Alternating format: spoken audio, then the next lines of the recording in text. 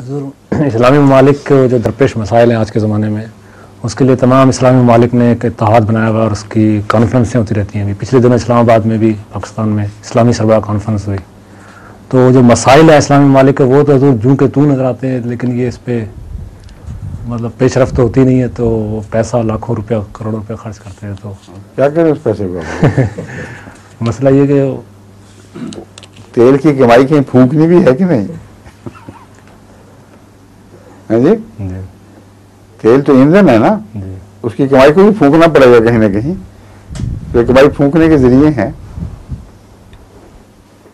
ایک دکھاوے کا ایک کھیل ہے اس سے زیادہ اس کی کوئی حقیقت نہیں۔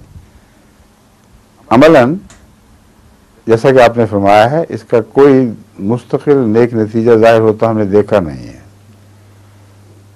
جو اشتراک بھی ہوتا ہے وہ عارضی ثابت ہوتا ہے۔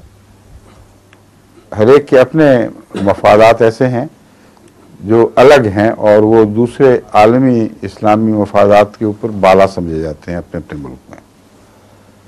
جب بھی ان سے ٹکرائیں گے عالمی مفادات، وہ عالمی مفادات کو اپنی جوتی کی نوک پہ لیں گے۔ کوئی بھی پرواہ نہیں کریں گے۔ یہ بنیادی روح ہے جو اگر زخمی ہو گئی ہو، تو اس سے پھر شفا کی امید نہیں رہتی پھر۔ یہ جو روح زخمی ہوئی ہے عالم اسلام کی، یہ تقوی کی روح ہے، جس کی بات ابھی ہوئی تھی۔ خدا خوفی کی روح ہے۔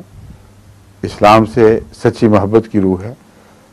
اگر یہ مفادات، یہ روح زندہ نہ رہے یا زخمی ہو چکی ہو، تو ملی مفادات تو بالکل ثانوی حیثیت کی چیزیں ہیں۔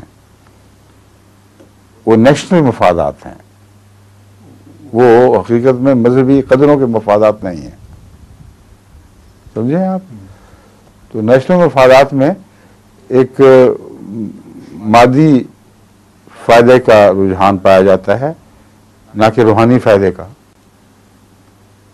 ملت اسلامیہ کے نام پر جب یہ کرتے ہیں، تو ان کی قومی تشخص کی بات کر کے ان کو بہتر بنانے کے لیے دنیا کی اقتصادیات کے لحاظ سے، مالی لحاظ سے، سیاسی اور فوجی طاقت کے لحاظ سے مگر اس کے باوجود یہ جب یہ ساری باتیں دیکھتے ہیں، اس کے باوجود ان کی اخلاقی قدروں کی درستی کا کوئی بھی پروگرام نہیں بناتے۔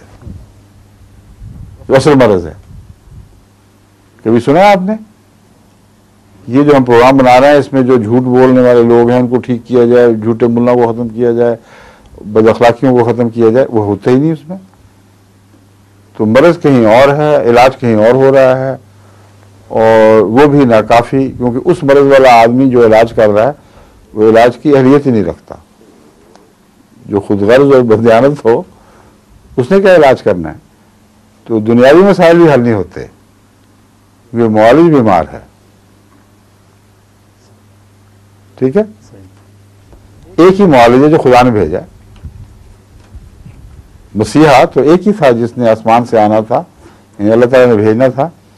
اس مسیحا نفس کا انکار ہو اور بیماریوں سے شفا کی کوششیں ہوئی ہوں، کوششیں ہو رہی ہوں، بالکل ناممکن بات ہے۔ جتنی بھی تحریکات مسلمانوں میں چلی ہیں مشن اسلام کے وقت سے پہلے بھی اور بعد میں بھی، خصوصاً کچھ پہلے اور بعد میں اب تک، ان میں سے ایک بھی ایسی تحریک نہیں جس کے بعد ہم کہہ سکیں کہ اب عالم اسلام کا اخلاقی معیار اور تقوی کا معیار پہلے سے اونچا ہو گیا ہے۔ کہاں اونچا ہوا ہے دکھائیں۔ ٹھیک ہے؟